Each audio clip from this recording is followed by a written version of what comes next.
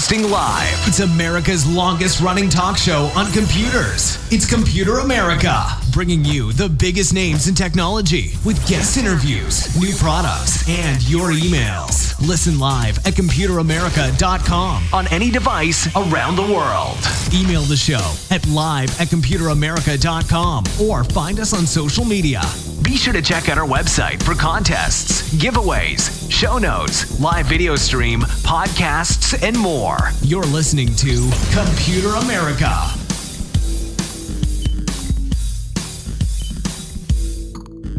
Hello and welcome everyone into the Computer America Show. We are the nation's longest running nationally syndicated radio talk show on computers and technology. Welcome into the program, everyone. We have a great show for you today where we have an interview with the one, the only Pedego Electric Bikes. If you haven't heard about e-bikes, uh, where have you been for the past you know five, six, seven, eight years? The field has really um, you know really kicked it into overdrive. They've um, you know electric bikes, much like electric cars, have really hit the mainstream, and the benefits have been seen by a lot of people, companies, and hey, uh, they're you know they're almost as ubiquitous as cars in some major cities. It's really incredible, and we have a great company to talk to us about the industry, what how it's been developing, and why you should really be paying attention to hey maybe getting an e-bike. It's um, you know something that you should really pay attention to. Now, before we get started, Computer America that's where you'll find everything, including past shows, future shows, show notes. A link to our guest website will, will remain on the homepage there for the next 10 days or so. You can catch it there if you're driving, if you're listening to us on the go. Don't worry, everything will be available on our website. Of course, you're more than welcome to go to pedego.com yourself. Check out their products, check out the service. But uh, yeah, in the meantime, Computer America, that's all you need to remember. Now, with uh, morning announcements done, let's go ahead and get started with our interview. And I'm really happy to have on with us Mr. Don DiCostanzo. He is the CEO of Pedego Electric Bikes. And Don, thank you for taking the time. Welcome onto the program. Hi, Ben. I'm delighted to be here. Thank you for having me. Yeah, our pleasure, our pleasure. And, uh, you know, we always love really interviewing, uh, you know, not just CEOs, but product managers and just anyone who can uh, really break down a complex topic to, uh, I'm sorry, a complex complex topic for us. There we go. Wow, words are hard today. But uh, yeah, before we get started, let's get a bit of background on yourself. Have you always been in tech, um, you know, or are you more of a fitness guy? I mean, how, uh, and of course, a little bit of background on Pedego as well. How did this all start? Well, first of all, I've never been in tech. Um, I was an eco terrorist, and now I consider myself an ecopreneur. And by that, I mean I started out most of my career in the automotive industry. My family owned a chain of car dealerships in Boston. I worked for an automotive chemical company, and I owned at one point 40 car washes. So it was wow. all pretty much circled around the, the automotive transportation by automobile. Um, in 19, uh, I'm sorry, in 2006, I discovered electric bikes. Um, I bought several of them in 2006. In 2007, I decided to open up an electric vehicle store. And in that store, I offered uh, electric scooters, mm-hmm. electric skateboards, electric car called the ZENN electric car out of Canada, Z E N N. They're now defunct, but uh, and I had electric golf cart. I had like the Cadillac Hummer or the Cadillac Escalade, the Hummer, and a 32 Ford, Ford Roadster. And I offered electric bikes. And I quickly discovered that electric bikes were where it was at. People bought them in pairs, they loved them, they had recreation, and they were relatively easy to maintain. On the other end of the spectrum, the electric golf carts were a nightmare because they were hard, clumsy to haul around. Not that many people wanted to buy them. And mm-hmm. it didn't look like that was going to replace transportation in the near future. And what happened in 2008 um, the, the, the, real drag on electric bikes, by the way, electric bikes were first patented in 1897. Really? So they're not new. And people ask me if I invented the electric bike. I said, I don't think so. I'm old, but I'm not that old.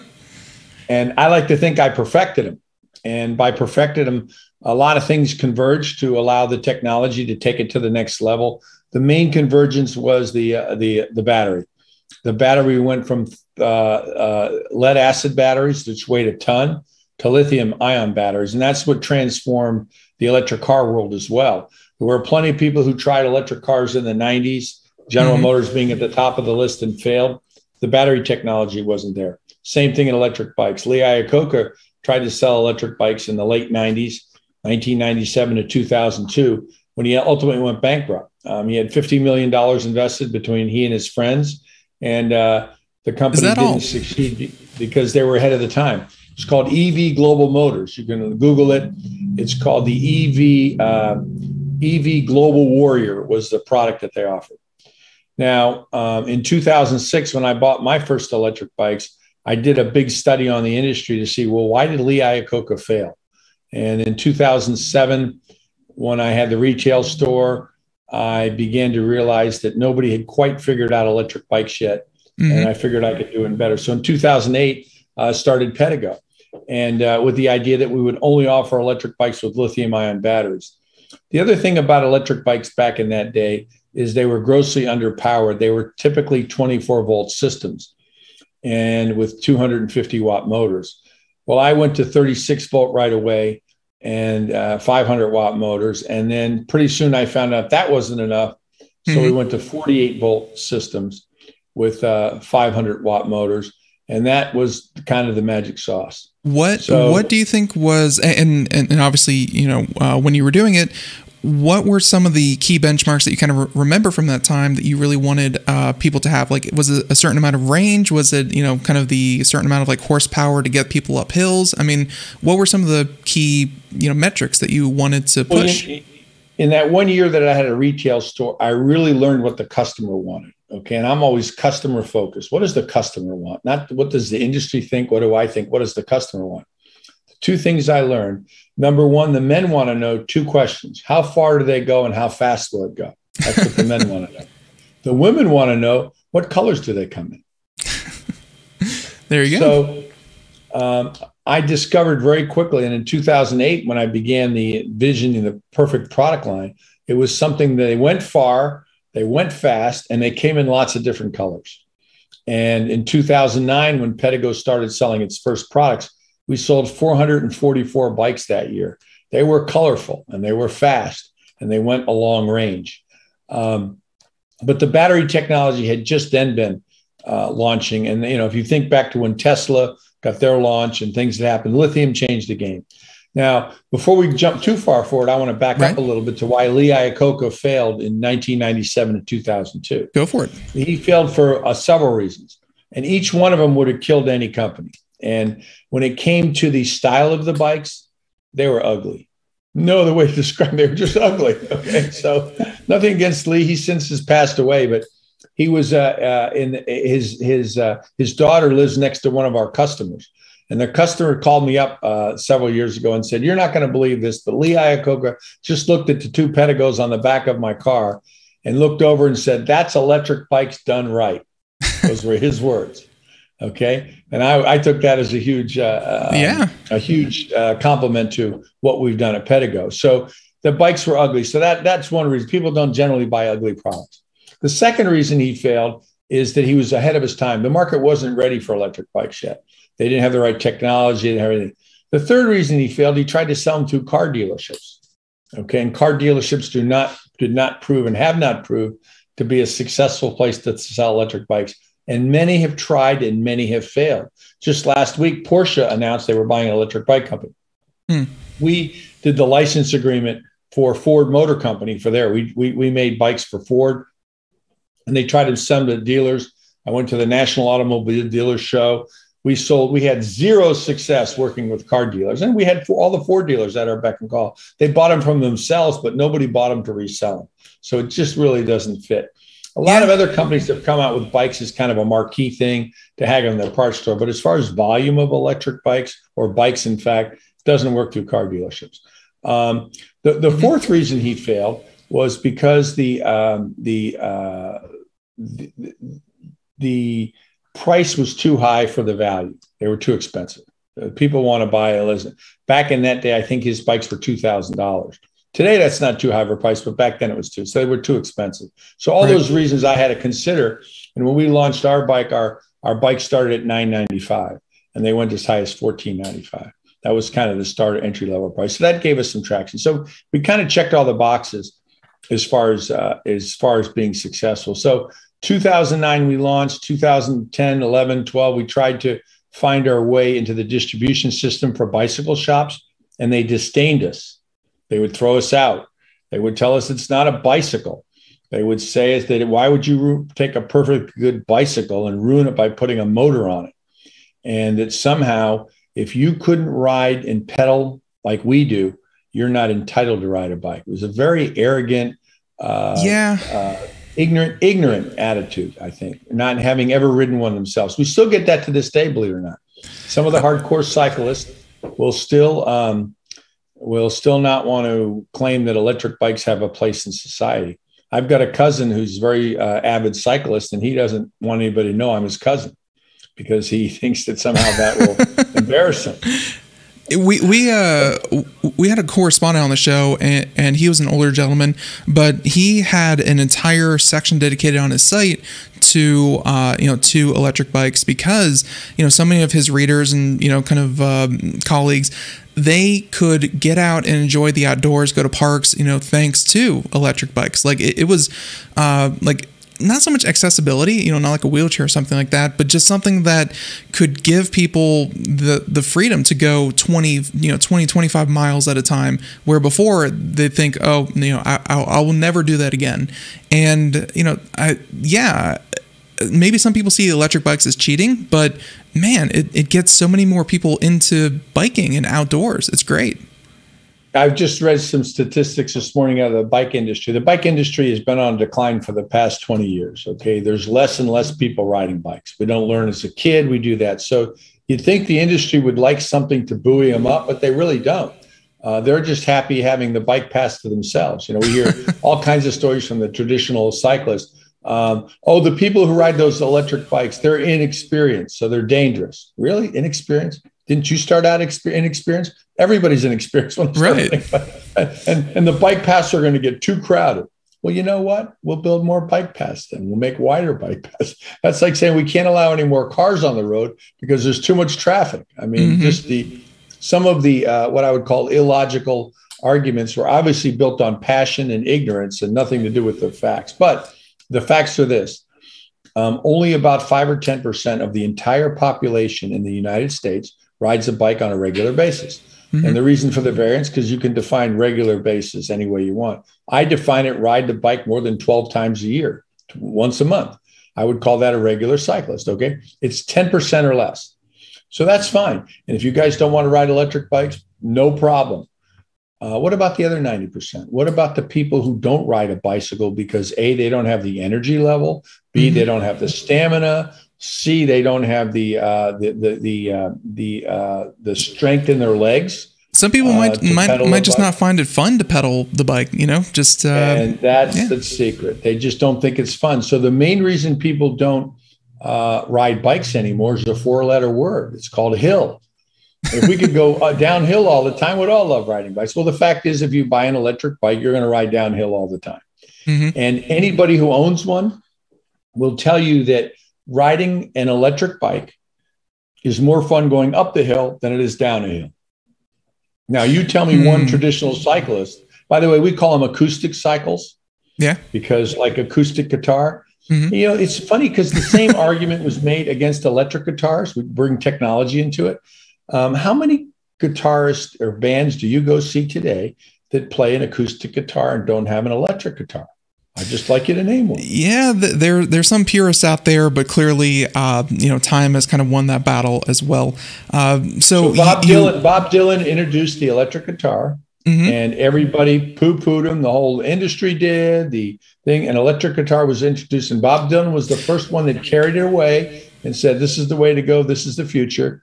And everybody poo-pooed him for how many years, and it went full circle. The other See, but who even remembers Bob Dylan's name nowadays? But okay, that aside, and that was a joke, obviously. But uh, I, I, will say that uh, you know to kind of get so you laid you know amazing groundwork. Electric bikes have been on you know kind of on the rise, and it's still something that a lot of people need to discover. I wanted you to kind of talk about uh, over the past couple of years. There's been uh, there's been a pandemic. It's crazy, but uh, people are looking for ways to get out outdoors, to exercise. You know, we've all been locked up. Uh, how are the trends? You know, uh, are people not buying bikes altogether? I know that you know maybe just uh, casual spending probably has de- uh, declined, but how has the e-bike community responded to the pandemic? Well, so so that's a great question. What what really transpired is from 2009 till 2019, we grew our business by 20 or 30 percent every year until 2019. In 2019, it flatlined. There were a lot of pressures. We raised prices. There were all, all kinds of issues. In 2019 was flatline. 2020, the beginning of 2020 gets scary. The whole outdoor recreation business fell flat on its face January, February, March of 2020. Mm-hmm. Come around late March, all of a sudden the world is shut down. Pandemic shut shut everything down. They shut us down. The businesses, everything got shut down. And uh, about three weeks later, bicycles were declared as essential transportation. So they hmm. allowed certain businesses to open back up. And we were fortunate to be one of them. Um, it started here in California, then it went around the country and said, okay, cycling makes sense. It's outdoor. And in fact, I came up with the idea that our bikes are SDVs, social distancing vehicles. Now, my marketing department didn't like that because it sounded too much like so, you know, STD, yeah, sexually transmitted. So we didn't use it, but I wish I had. In retrospect, sometimes the marketing department's not always right. um, but a bicycle, by its definition, whether it be electric or otherwise, is a perfect social distancing vehicle. You're always got a, uh, you know, you're moving along, the air is moving, and when people realized they were going to be in lockdown, they began buying all types of outdoor recreational products, including electric bikes. Really? Now, most, including the industry, thought it would be short lived. And they believed, well, this is just a, a little spike. And, uh, you know, come around in the fall, this is all going to be diminished. And I, I would have to say that I wasn't certain about that, but I believed that that might, in fact, be the case. However, I decided that we had to order then for the following year I decided there's a chance that this craze just might consider. So I doubled down and ordered a lot of product in fall of 2020. And thank God I did because in 2021, nobody had enough bicycles, electric bicycles or otherwise. The industry was caught flat footed. And but we had plenty. So our business grew 90% in uh, 2021 over 2020. Very impressive. we started the climb in 2020. So um, it took off. But the only one the people were take, take advantage of it are people that had ordered in because there's a long lead time in supply chain. So we were able to capitalize on that and open uh, almost double the number of stores we had. People then had an interest in opening up stores. And we now have, I think we're going to close the year with 200 retail Pedego stores that allow people to go in and try them. And I think that was the secret too to our success was it wasn't just come on, hurry up and buy buy buy an electric bike. Everybody mm-hmm. should buy an electric bike. I say no, don't buy an electric bike. You're crazy. Go rent one first. See if there it's you for you. Try it out. Taste it. You go to Costco, they give you the crackers and the cheese. You try the crackers and the cheese. You like it, you go down the aisle, you buy the crackers and the cheese and put it in your cart. I say the same things with electric bikes. Try them. Don't go run out and buy one. Go try them. Go rent one. Rent one for an hour. Rent one for a day. Rent one for a week find the right one that's the right size for you. Because, like everything in technology, whether it be a PC or a phone or anything, not one size doesn't fit all. Well, it's even mm-hmm. more important with an electric bike because you've got to be, you've got to fit on it. You've got to feel comfortable on it. It's got to be the right size, if not for nothing else, but for safety's sake that's uh, you know that's kind of been the way that um, traditional or acoustic bikes have been eh, that you go in and you size them and you know get a get a seat and you know just kind of customize them to fit you and the way that you ride. Um, but I, I, was actually um, going to ask you because there is a massive supply chain shortage and chip shortage in particular. Uh, you know, very very fortuitous that you kind of ordered ahead of time because man, that's uh, that's been plaguing cars. Uh, you know, car companies. They said that there's going to be a shortage of cars and you know a bunch of different uh, equipment. Uh, have you noticed anything with your supply chains and chip shortages? Yeah, so the same thing is happening to us that's happening in the automotive industry. Um, the most expensive uh, cars are the hardest to come by. Uh, if you try to buy a Cadillac Escalade at the Cadillac dealer, they're most expensive. They get a twenty-five or thirty thousand dollar premium for them. Um, in the case of bikes, the same thing is true. The higher end, the more expensive bikes, these seven, eight, nine thousand dollar electric bikes, mm-hmm. we ran out a long time ago. We're not going to see them for a while. We can't get the components. However, the less expensive bike, like our Element and our mainstream bikes, we can get all the components we want. The chip shortage has had a small impact on us, but we ordered many more bikes than than we ended up getting. But we ordered so many that we got a bunch in. So you see all the different examples of the models we have. We actually have 18 different models, and they come in different sizes and different colors. And this is important back to my original statement that's saying, hey, people like colors. Like the adventure bike there, the element you're looking at, that comes in six different colors. That fortunately only comes in one size. It only right. has to come in one size because it's really adjustable. And that's a kind of our our our, our entry level bike. It's the uh, it's the it's only eighteen ninety five, and it's got free financing with it. Comes with a couple different battery choices you can add on um, uh, fenders or a light or a, a, rack for the back, and kind of make it your own and pick the color you like. Um, it looks very rugged, and, and and you know maybe that's something that people don't uh, also kind of uh, think about when it comes to e-bikes is that maybe they're fragile, you know, they're kind of dinky and that kind of thing. But I mean, the you know this this element itself is uh, it's fat tire and it looks it looks bulky and, and not a not not like a bad heavy way, but in like a this thing can probably take you anywhere and even up a mountain.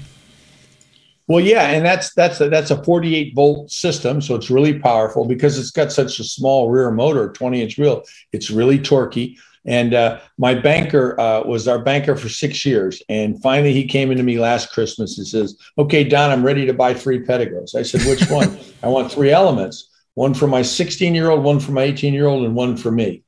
And he was in last week getting a, a, a tire and a tube for it, and he told me that. Um, his friends have they all have electric bikes now 16 year old and they all call his pedego the tesla of, of, of, electric bikes. And i said well why do they call it that? He says because it's got ludicrous mode. You hit that throttle and boom that that bike takes off and that is true. We've built performance in there.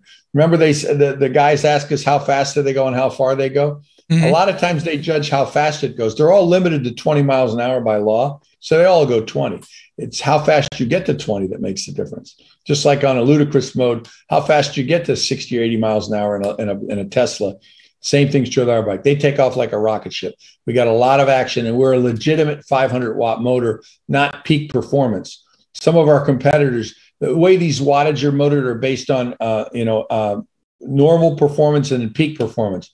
Ours are 500 watt normal performance, 750 watt peak performance. Mm-hmm. A lot of our competitors will offer, say they're 500 watt, but they're only 500 peak, which means our butt, our bikes will kick their butts.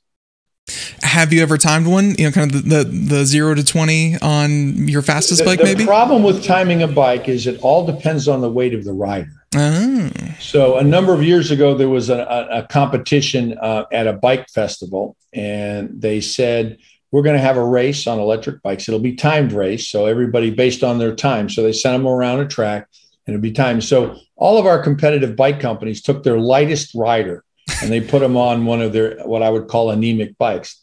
I put a 300 pound rider on ours. And since there were no rules, I put him on a 2000 watt motor bike.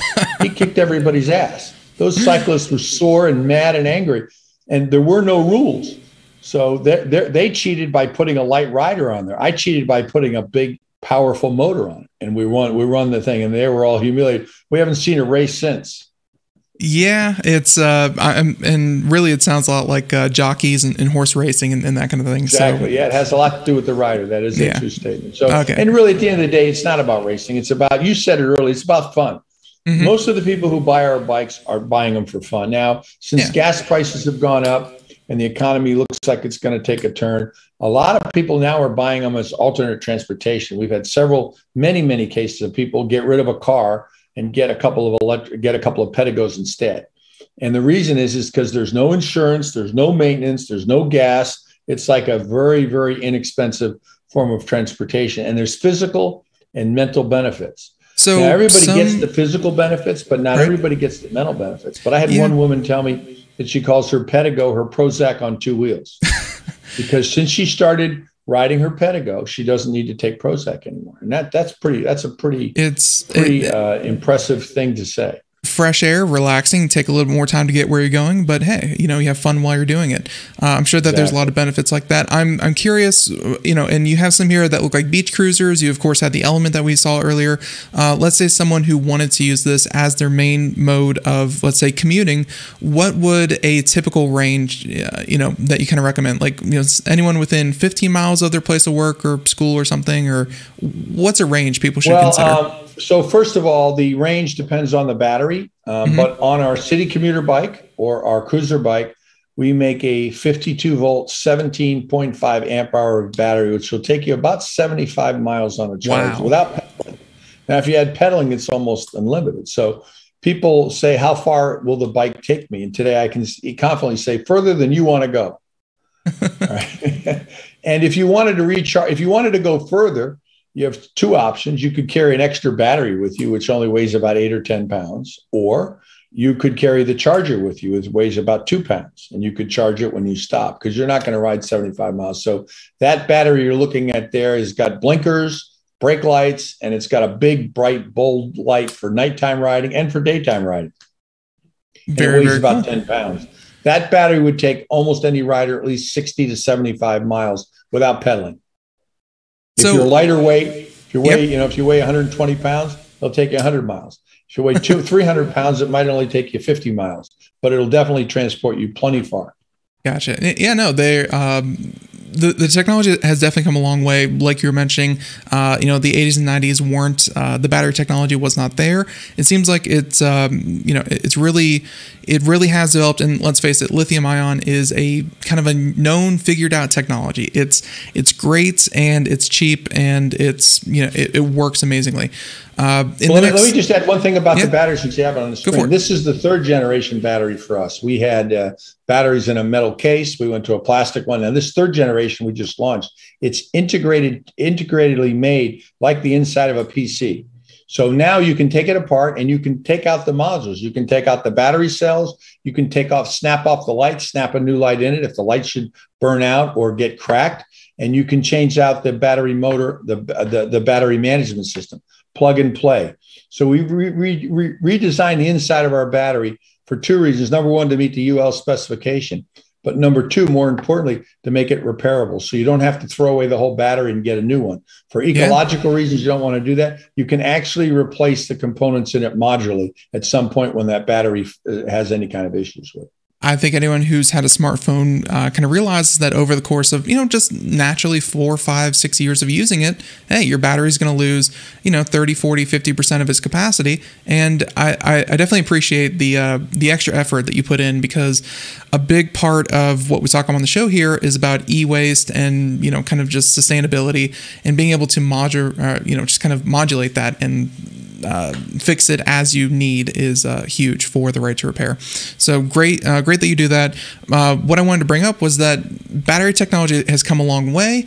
I'm sure that you know uh, the material and the manufacturing, all that has come, you know, it's come in ways that you don't even need to mention. But in the coming years, I mean, you said that there's an increased demand. More and more people are hearing about this. Uh, you know, the technology is clearly only going to get better. How do you see the space developing over the next couple of years? Because I think something that's happened uh, since smartphones became ubiquitous, uh, there were the e-scooters, e-bikes. Uh, New York, uh, you know, Dallas, a, lot of major cities have made big investments, or at least companies have let uh, I should say cities have let companies make big investments in providing these as on like a commuter, at, you know, kind of turn by turn basis. Those are kind of going away and coming back. I don't really know the state of that. Where do you see the whole field going? Is it about fleet management or is it about individuals owning these things? I think it's both, but uh, you mentioned the word ubiquitous. Mm-hmm. Uh, there's no question that everything electric is becoming ubiquitous with transportation. Um, whether you look at Tesla and all the other uh, copycats and followers, uh, Tesla kind of laid out the roadmap and said electric vehicles are possible because Elon Musk had the vision to say it can be done. And by the way, if you ever toured their factory there, it's well worth the tour. It those those cars come in.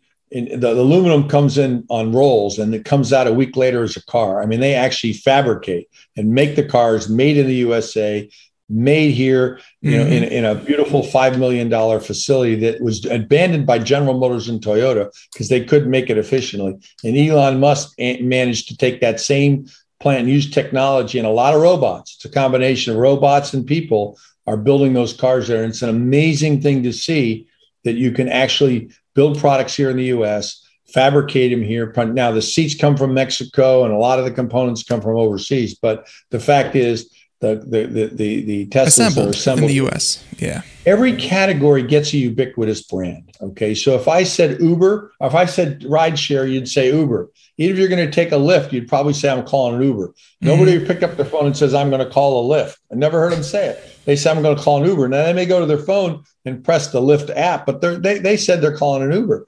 And every category gets that. Tesla is it for electric cars. Lululemon is it for uh, for yoga wear. Let's face it, Google is now Google now synonymous with search, like in the dictionary. Google, Google. is to Even search. if you're going to go to Yahoo or Bing, you say let's, let's just go Google it. You can go down the list and talk about. If I said motorcycles, you'd probably say Harley Davidson. Um, right. And so, and if I said coffee shop, you know, you're going to say Starbucks. And I can go down the list, but Pedego is determined to be the ubiquitous brand with electric bikes because we're the only company that does business the way we do. We have 200 located, independently owned and operated shops that carry nothing but Pedego. You can't carry, they don't carry any brands, they don't carry anything but Pedego and accessories, much like Tesla does. The difference between us and Tesla are that Elon Musk has more money than I do, quite a bit more.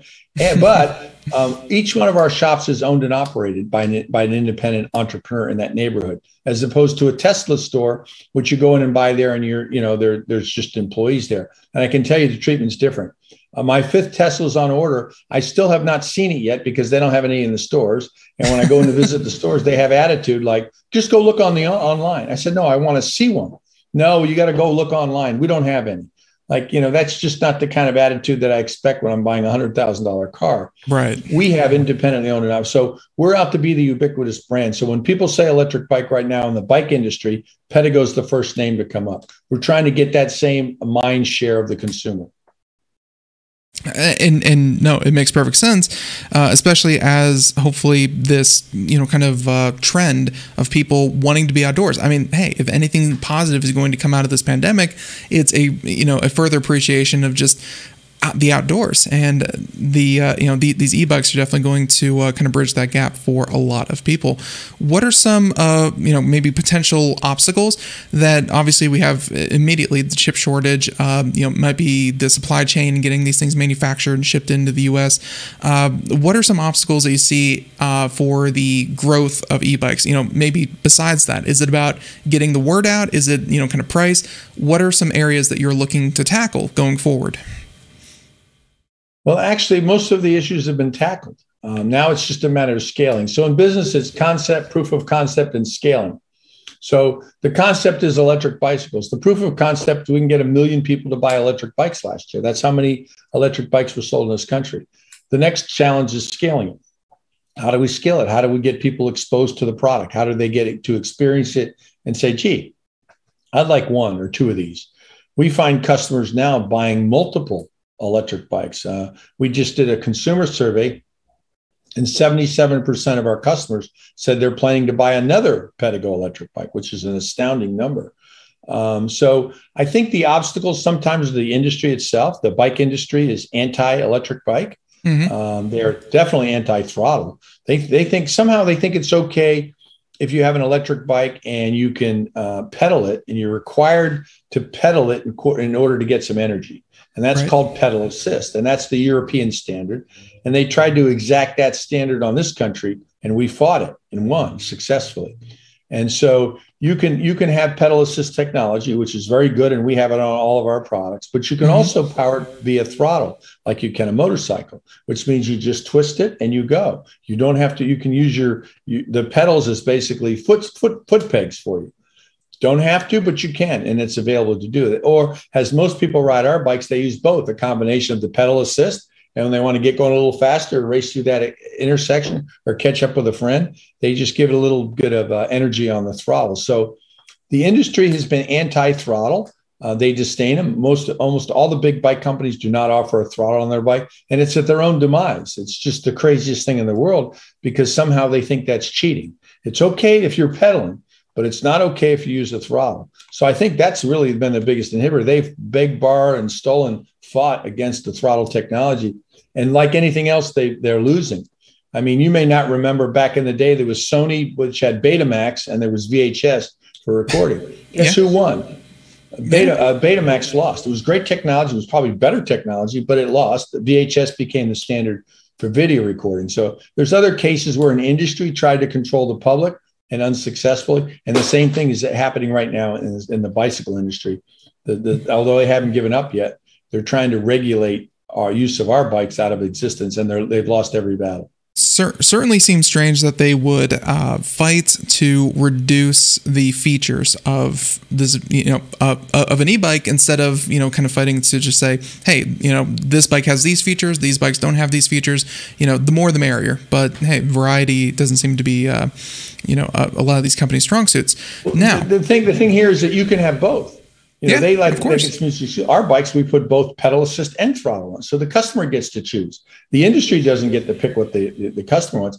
The best analogy I like to draw is like diesel station wagons. If you go to Europe, most people in Europe drive a diesel station wagon. Okay, that's just what they drive because gas is ten bucks a gallon, and they they you know diesel station. You don't see too many GMC Suburbans over there or, or, or Escalades you see diesel station wagons. Mm-hmm. Um, Europe tried to bring their diesel station wagons here, didn't work.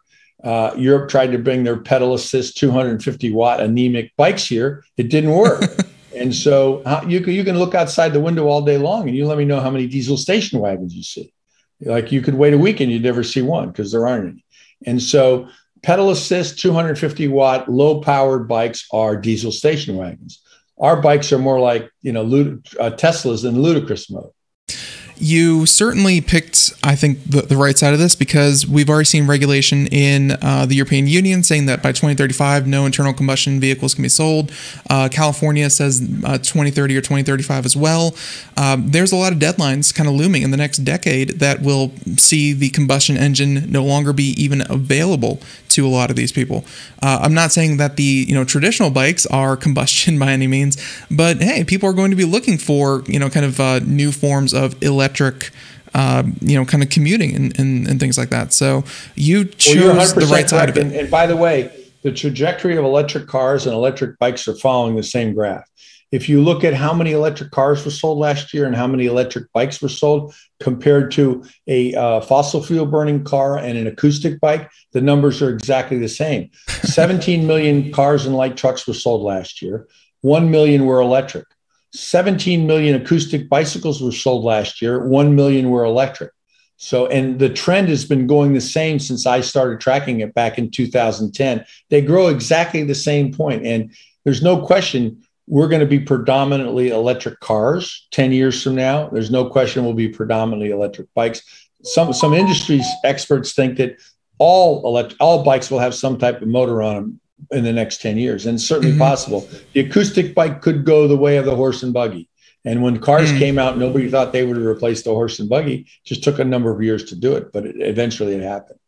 So one thing that, uh, and and you probably know this better than I do, that a lot of uh, companies kind of you know kind of fell into with the uh, you know kind of the fleet management, like you know the the hundreds of bikes that they put into New York City, for instance, things like that.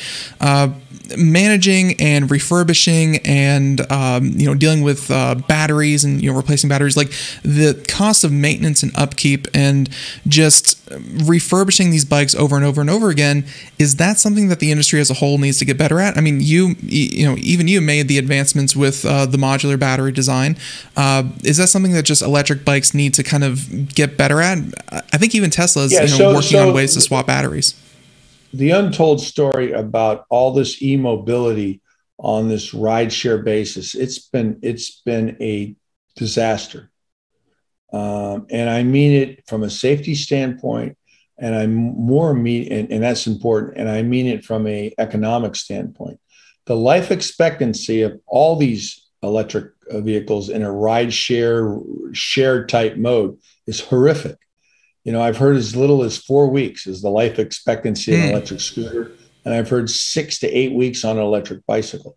They end up in the bottom of rivers, they end up vandalized, they end up being unuseful. When I first started studying um, the whole idea of, of bike share um, in 2014, I went to Madrid and they had 1,500 bikes in their in their um, in their rideshare program. So I literally went to Madrid to see if I thought this was a business model. And when I got there, I found plenty of bikes. Half of them in the docking stations were with their seats turned sideways. And their seat turned sideways is the universal sign. Don't touch this bike; it's busted. Okay. And then the three bikes that I rented, they all had mechanical issues with them. One, not one of them worked well. And I concluded that the, this particular bike share program made a huge mistake. They've spent $4,000 on the docking station to dock it, and they spent $1,000 mm-hmm. dollars on the bike. They should have done it the other way around. They should have put the quality bike. The problem is when you build this high quality bike that can take ride share abuse, you now have built a tank. And that tank is very heavy and it's no longer a bike because you can't pedal it. It's right. really just a scooter with pedals on it. So there's a real imbalance here. And I don't know what the solution is. People say, well, just make the bikes lighter. And I said, that's so easy. All we do is take the motor and the battery off of it, and it'll be really light.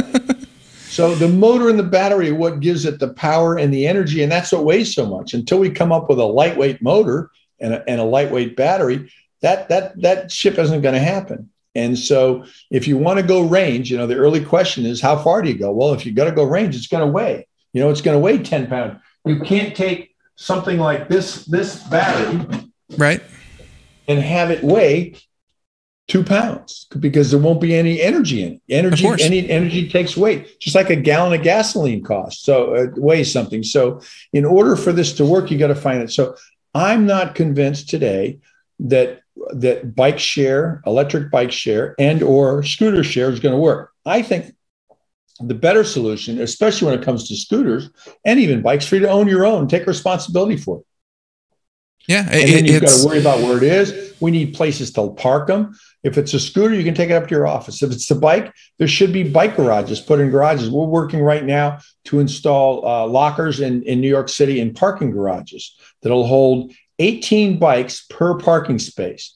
You can put nine bikes on, on in one space, but if you go double decker, you can put 18 spots parking. So just think about that. If you're a revenue producer for a parking garage, you can get, you're not going to get the same amount to park your car there, but you only have to get 118th of the price and with a heck of a lot invest less investment in real estate. So there's got to be a place in cities to store them. They can't be left outside. This idea that you can have a bike share and leave it outside in the elements is just nonsense, especially with electric components on it. They're not designed for that. It's not a car where it's completely encased. And if it does, it's such a heavy product that it's really a scooter, not a bike. Right. Yeah. It, it's uh, it really gets to the point where, like you said, for you know four, six, eight weeks for these devices, and let's face it, at that point they're almost disposable, and that's uh, that's really really they're difficult. Too expensive to do that, though. They're yeah. expensive. Yeah, for sure. So, uh, so owning your own, and even though there is some investment, you know, looking through your bikes, I saw, uh, you know, some started like what was it, two thousand, all the way up to you know four, four, five thousand. Our, star, uh, our, our our basic entry level bike is eighteen ninety five Pedego element, great value for the money, forty volt, forty eight volt, ten amp hours. I think it'll take you 35 to 40 miles on a charge. Get a longer range battery is an option. Our most expensive is our 5495 full suspension mountain bike, um, the Elevate and everything's in between it. To get a good value electric bike, you really got to pay about $3,000 and you want to get a long term warranty. Most of our bikes have a five year warranty on, including the battery. Uh, I don't think a single competitor has, offers a five year warranty. We've been in business since 2008. I can fix any bike we've ever sold back to 2008. We've got the repair parts, we've got the batteries, we've got anything you need to do. If you buy a bike online, you pay cheap and two or three years the battery craps out, the not ch- good chance you won't be able to get one. You right. then have a very heavy bike that won't have a motor that you can access. You've got to be able to have a battery that it's going to operate. Yeah, and and uh, I think another thing that uh, since we're comparing you know comparing this to Tesla so much, uh, one thing that Tesla did very well was that people would see Teslas, especially early on, and you know know that the early ones were hundred thousand uh, dollars. They would look at these and go, "Oh, I want to key this. I want to scratch this." You know, uh, they get hit, that kind of thing. Tesla had some very good security features. Bikes get vandalized. You know, either they get tires stolen, seats stolen, whatever. Uh, are there any kind of protections you've put in place? You know, maybe is it tagged with Bluetooth? Is it, uh, you know, it, does it have kind of a lock with the battery? I mean, what kind of anti kind of tampering theft kind of things do you have? If people so take the, these things the into thing town, we, that we've discovered is if you're gonna if you're a thief and you're determined to steal a bike, you can steal it and you can overcome the electronics around it. And so we we we offer a very heavy duty lock, which is the best theft protection you can have. Mm-hmm. If the thief sees one bike with a with a very good lock on it and a bike with a cheap lock, which do you think he's going to go after? He's going to take the one, cheap yeah. lock. So what we do is we offer a five year anti theft program. If your bike gets stolen and it has our lock on it, we will give you a brand new bike. You really want your bike back after somebody stole it? You really want to go to somebody's house and find it? I think yeah. this idea of tracking your bike and you're going to track yourself to the thieves' den and you're going to go there and you're going to go there and you're going to say, hey, give me back my bike. And the reality is, you're not going to get the police to go get it because you yeah. can't prove it's there and you can't prove the guy stole it. So, this idea of tracking my bike, I think is just absurd. It just doesn't have any practical sense. It sounds good in theory, but in practical, if somebody cuts through the lock at your bike and you know you've parked it outside your your, your school or your or, or your your work and it's gone, you should kiss that bike goodbye and go figure out either get insurance to pay for it or in the case of our bikes to get Pedego to buy you a new one. And I buy new ones all the time because sometimes they actually cut through the very thorough locks we have because there's some pretty smart thieves out there with some really good Makita saws that can cut through those. Uh, yeah. As good as that chain is, the bike's going to get stolen. It is a problem. You, gotcha. you, you keep it in a safe place as best you can. When it's out in the public, could have put a good lock on it, and then the backup policy is that if it's a Pedego and it gets stolen, we're going to give you a brand new one. Uh, that and, and really that's very uh, you know amazing how much you've really highlighted that you stand behind these products. Um, you know, obviously a premium, but hey, uh, you're you're going to get your value out of that. So you've you really did a good job of highlighting that, Don. Uh, let's talk about real quick, and then we're going to start wrapping this up. But I want to talk about the uh, major changes. You know, we talked about some stuff in the future and how that's going to develop, but you've you know really put a lot of uh, uh, a lot of respect to how Tesla produces their, you know, their cars and things like that. Uh, it almost sounds like you really would like that kind of production in the U.S. Uh, for electric bikes. Is that something that you see? Um, you know, how do you see the future manufacturing of these bikes changing in the coming years? Well, very naively, when I started Pedego in 2008, I really believed I was going to find a way to make electric bikes in the U.S. And I was as naive as you could come. And the reality is, nobody's been able to do it. Probably nobody will in the foreseeable future for one very important reason. There's not a single component that's made in the US that goes on the bike. Hmm. You can't buy a spoke, a seat, a handlebar, a stem, a tire, a tube. Go down the whole list. There's 52 items on a bill of materials. Not one is made in the US. Now, the secret would be if we could make frames here, okay? Because the frame, without the frame, you don't have a bike.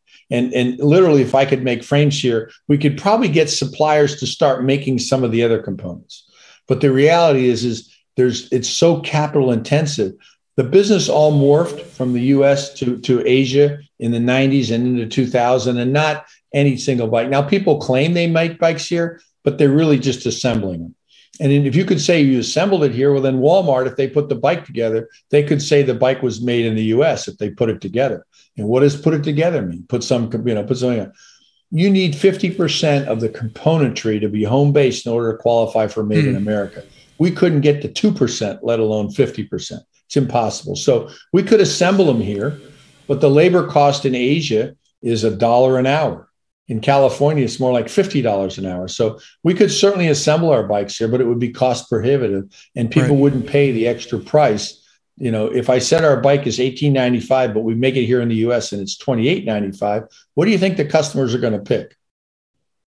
Yeah, it's uh, the, and you know, certain price points are like if you can hit certain price points, that's going to be the biggest motivator, you know, bar none.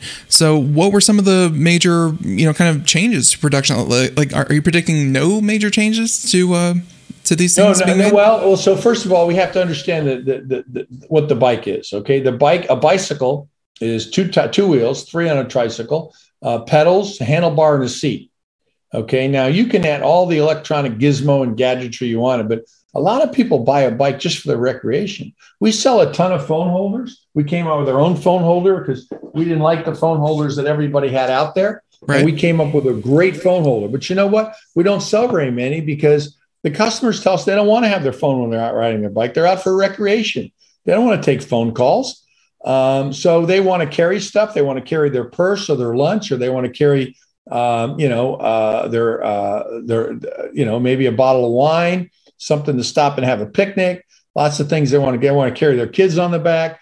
So we come out with accessories that we think are very appropriate. We're launching a whole new line of accessories based on customer demand. The biggest one is the bike covers. We've got single and dual bike covers for people who are hauling them around on the back of their hmm. their, their their vehicle, um, so that they can um, uh, you know go and explore places. Hand grips are a big thing. People want a comfortable hand grip. A customer touches uh, a consumer touches the bike three places. They they hand grips. We got soft and squishy, comfortable hand grips. Mm-hmm. They have a seat. We have not only regular nice cushy seats, but we also offer a memory foam seat if you want a super comfortable seat.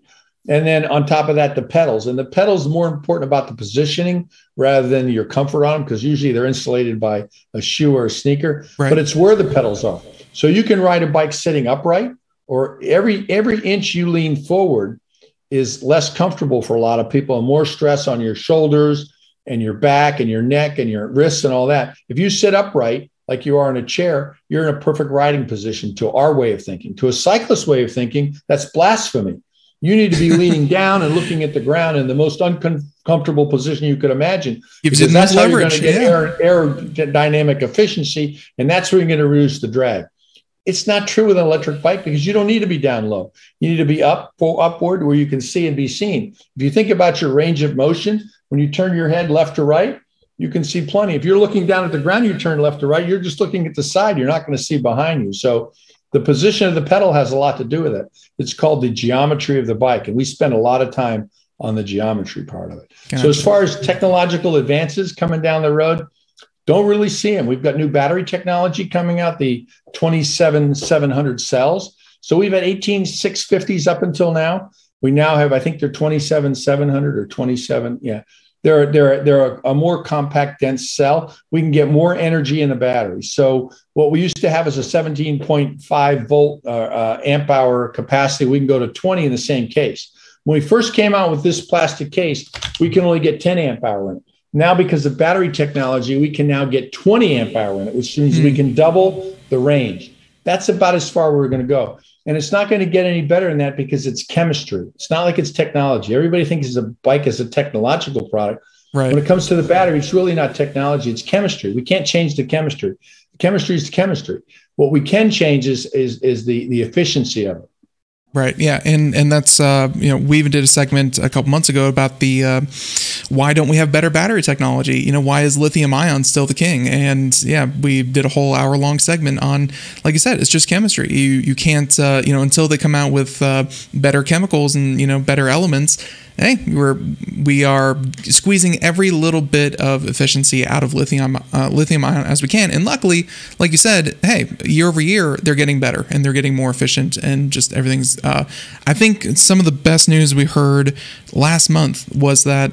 Uh, they were testing lithium ion recycling technology and they found they like uh, like 99% efficiency in recycling lithium ion batteries. It, and that was great to hear. It just means that, hey, they're going to be launching, around for longer. We're launching our recycling program uh, two weeks at our dealer meeting. And it's basically, they're going to, the batteries will get turned in back to the shops. They'll get sent to a recycler and the recycler will recycle everything they possibly can out of that battery. But we're trying to minimize that by having the, the, the batteries be uh, reusable, the case and the components in it. We still got to find a way though, the cells when they're depleted to get reused. Right. Yeah, and and, and hey, that's uh, that's all coming down uh, the road. So, uh, Don, uh, we of course have our usual audience, which is you know very uh, you know kind of uh, consumer electronics minded. That's great. another portion of our audience, they're also a lot of entrepreneurs, people who have their own businesses and you know kind of do that whole thing. you seem like you are very passionate, not just about e-bikes, but of course about growing your business and just being you know kind of successful where others have failed before you. I wanted you, you know, before we say goodbye, wrap up the interview, I wanted to see if you had any kind of words of wisdom for people who, you know, you turned one shop into, like you said, you're hoping, I think, close to 200 different retailers.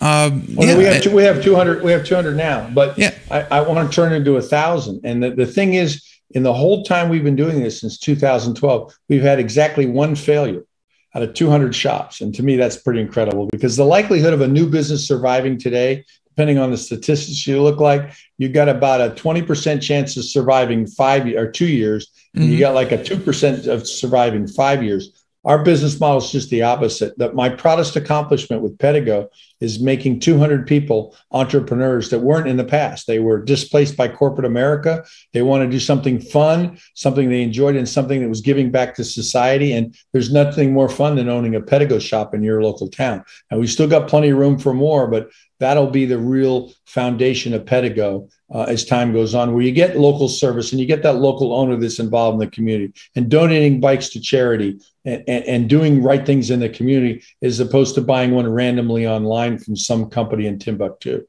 Right. No, very, very, very well said. And uh, yeah, it really everything that you've said here today. Uh, I'll let you have uh, any kind of closing statements. Uh, anything that we didn't touch on, highlight uh, that you want to mention real quick. I just encourage anybody that would is interested in going out and having some fun and some recreation and get uh, get help you both physically and mentally to go out and rent a Pedego at one of our 200 locations. Just go rent one, go try one. If you don't even want to rent one, just say you want to take a test drive. That's free, kind of like a rental car. You can go drive one around the block to see if it's right for you. If you like it, rent one. If you like it further than that, buy it. But the most important advice I can get, try one on before you buy it to make sure. If you get the wrong size or the wrong style, you're not going to use it. It'll be like a an overweight uh, uh, uh, piece of exercise equipment in your garage. Right. Yeah, no. And, and of course, uh, once again, pedego.com. You can check it out there. And they have a find the store uh, right up there in the upper right if you want to find one near you. And of course, you can check out all their bikes right there on the site. Uh, like the nice people over at the Tesla store told you, just go look at it online. Uh, but no, please go and say hi. Uh, say hi to these uh, lovely people. And everyone, we've been talking to Don. He is the CEO of Pedego Electric Bikes. Don, your insight has been, once again, this, like e-bikes have been a topic on the show before. Uh, you've given us some insight that we've never had before, and I want to thank you so much for coming on the program. It was my pleasure, Ben. I'm, I'm happy to come back anytime you want me. Hey, uh, yeah, definitely going to take you up on that. Uh, quick question: Are you going to be out, uh, presenting at CES or any presence out there at the show? Probably not. It's really not our fit. Um, I will be attending. You'd be surprised personally. You'd yeah, be surprised. I know. I, in yeah. fact, there's a there's an e-bike test track that somebody's promoting too, but uh, it, it's a possibility, but our business model is really targeted on the consumer, and that's really a trade show. Gotcha. Yeah. Okay. No. No. Um, and perfect there. So just wondering because you know we're going to be covering CES, so wanted to see if we could stop by and say hi. But hey, we had you here on before CES, and everyone, uh, the interview is going to be available forever on the podcast. It's going to be up on the homepage for the next ten days or so. And Don, I want to thank you so much for coming on, and uh, yeah, looking forward to having you back on. Thank you, Ben. All right, perfect. So everyone, we're going to go ahead and kind of wrap it up, uh, wrap that up there. Uh, once again, computeramerica.com. And until next time, thank you so much for tuning in. And hey, we'll be back more Computer America Monday through Friday, 4 p.m. to 5 p.m. Eastern. Everyone, have a great day. Thank you so much. Bye bye.